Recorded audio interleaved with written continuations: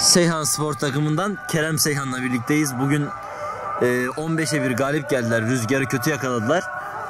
Geçen hafta da galip gelmişler. Etistar karşısında. Görüşlerini alıyoruz.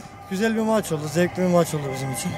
Geçen hafta lider yenerek, yenerek büyük bir çıkış yapmaya başladık. İnşallah devamı gelecek bundan. Sağ olun.